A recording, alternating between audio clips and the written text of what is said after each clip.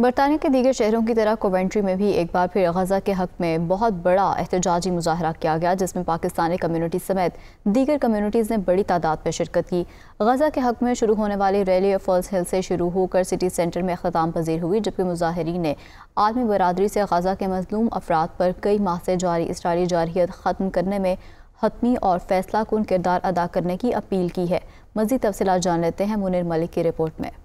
برطانیہ کے دیگر شہروں کی طرح کوونٹری میں بھی ایک بار پھر غزہ کے حق میں اسرائیلی بمباری کے خلاف ایک بہت بڑا مظاہرہ کیا گیا اور ریلی نکالی گئی، جس میں ہر مذہب اور نسل کے لوگوں نے بڑی تعداد میں شرکت کی۔ غزہ کے حق میں شروع ہونے والی ریلی فولزل ہل کے علاقے سے شروع ہو کر سٹی سینٹر براڈ گیٹ میں اختتام پذیر ہوئی۔ ریلی میں بچوں اور عورتوں نے بڑی تعداد میں شرکت کی۔ شرکا نے غزہ کے مظلوم لوگوں کے حق میں پوسٹرز اور بینرز اٹھا رکھے تھے۔ احتجاجی مظاہرہ میں مقررین نے خطاب کرتے ہوئے اقوام متحدہ، امریکہ، برطانیہ اور یورپی ممالک سے مطالبہ کیا کہ غزہ کے مظلوم لوگوں پر کئی ماہ سے جاری اسرائیلی جہریت کو ختم کرانے میں حتمی اور فیصلہ کن کردار ادا کریں۔ مظاہرین نے مسلمان ممالک سے بھی مطالبہ کیا کہ اس فیصلہ کن موڑ پر جرت کا مظاہرہ کریں اور فلسطینیوں کے ساتھ عملی اظہار یکجہتی کریں۔ اس موقع پر کمنٹری کے سابقہ M P mister Dave Nellist councillor Shakila Khan, community سماجی رہنما راجہ مبارک کیانی اور دیگر نے میڈیا سے اپنے جذبات کا اظہار کرتے ہوئے کہا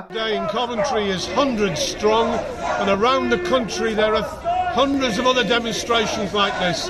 There are millions of working people united in their horror of what the Israeli military are doing to the Palestinian people of Gaza and the West Bank.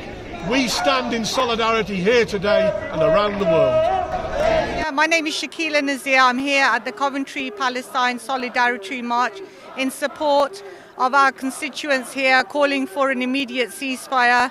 We're all here to support the cause and we are all promoting that we want to see an end to the suffering and violence and to call for a peaceful solution for all. Thank you. The People of Gaza today, because I believe that the treatment of them by the Israelis is absolutely disgusting. There's genocide going on, and the more people who become aware of it, the more people can put pressure on our elected representatives to do something about it. Our country should not be supporting Israel by giving them weapons. We shouldn't be supporting them in their actions and making excuses for them. This is unacceptable.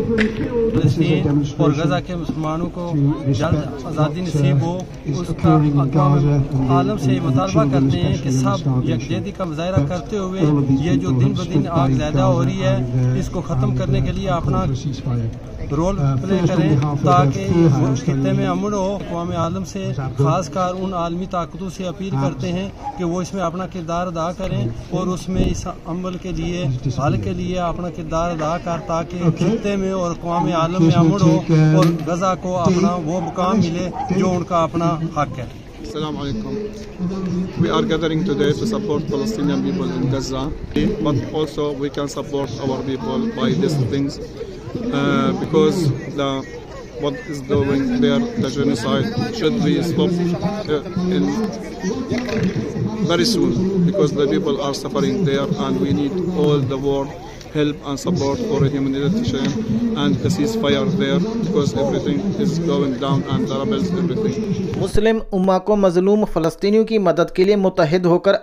aage aana chahiye. Munir Malik, Dunya News, Coventry.